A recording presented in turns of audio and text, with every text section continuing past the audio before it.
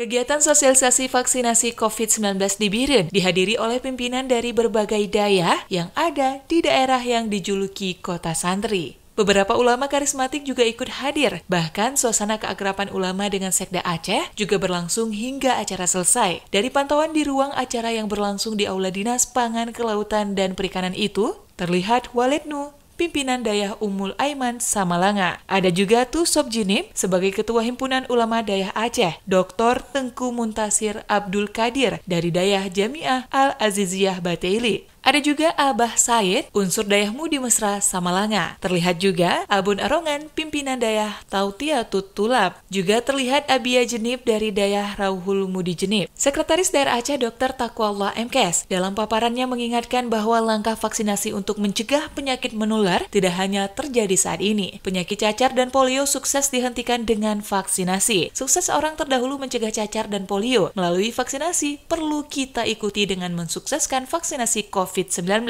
Kata Takwallah yang juga mengingatkan adanya keharusan vaksinasi bagi jamaah haji dan umroh.